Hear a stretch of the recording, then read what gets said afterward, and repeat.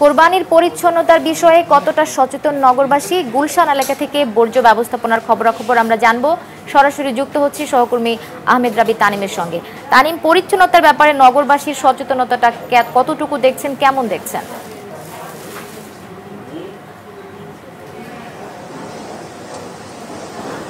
আপনাকে ঈদের শুভেচ্ছা এবং দর্শকদেরও ঈদের শুভেচ্ছা। আমি আছি ঢাকা উত্তর সিটি কর্পোরেশনের একটি অভিজাত এলাকায়, গুলশান, সবাই চেনেন।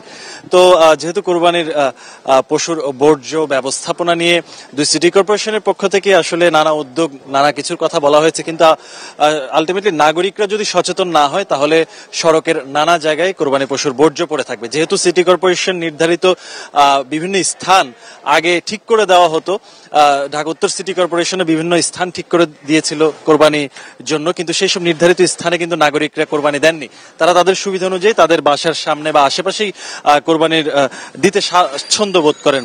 তো সেই হিসেবে আমরা যে দেখি যে পশুর বর্জ্যগুলো আসলে মূল সড়কে থাকে। আর যেহেতু পুরো ঢাকা জুড়েই শহর জুড়েই আসলে কোরবানি হয়, তাই পশুর বর্জ্য ব্যবস্থাপনা কিংবা পয় পরিষ্কারের জায়গা থেকে আসলে উত্তর সিটি কর্পোরেশন বা দক্ষিণ সিটি কর্পোরেশন, দুটি সিটি কর্পোরেশনের কর্মীদেরই বেগ পেতে হয়। তো এই জায়গাটিতে আসলে যেটি করা হয়েছে, এই গুলশান এলাকায় প্রতিটি বাসায় ব্লিচিং পাউডার দিয়ে দেওয়া হয়েছে নাগরিকদের।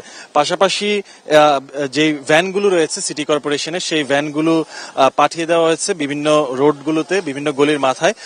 সেই ভ্যানগুলোতে দ্রুত আসলে uh, পশু কোরবানির সাথে সাথেই বর্জ্যগুলো সরিয়ে নেওয়ার ব্যবস্থা করা হয়েছে। এবং যেহেতু মূল সড়ক ব্যবহার হয় পশুর রক্ত পশুর বর্জ্য থাকে, তাই আসলে পরিবেশগত জায়গা থেকে একটি ঝুঁকিও থাকে। আমরা এখানে পশু কোরবানি দেওয়া একজন নাগরিকের সাথে কথা বলব।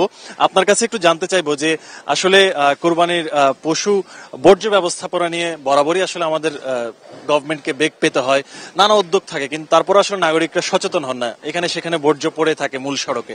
তো একজন নাগরিক হিসেবে মানে আমরা কি এই নেগেটিভিটিটা থেকে বের হয়ে আসব কিনা? যেহেতু সিটি কর্পোরেশন নির্ধারিত জায়গায় অনেকে কোরবানি দেওয়ার কথা থাকলেও কোরবানি দেন ঈদ মুবারক, অনেক ধন্যবাদ।